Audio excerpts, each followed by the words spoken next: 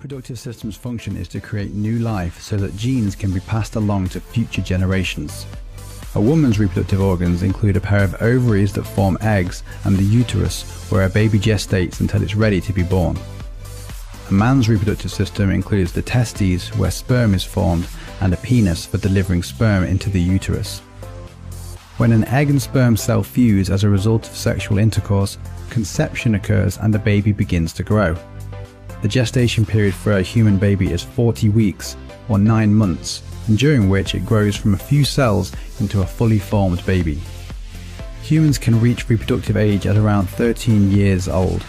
With good nutrition, puberty is arriving sooner with every generation. A woman produces one egg every 28 days. If it's not fertilized, menstruation sheds the uterine lining. A man's ejaculate can have as many as 300 million sperm cells. Sexually transmitted diseases include HIV, AIDS, chlamydia, syphilis and HPV, which can cause cervical cancer. The most common cancers of the reproductive organs include ovarian and cervical cancer in women and testicular and prostate cancer in men. The study of women's reproductive organs is called gynecology and the study of men's reproductive organs is called andrology.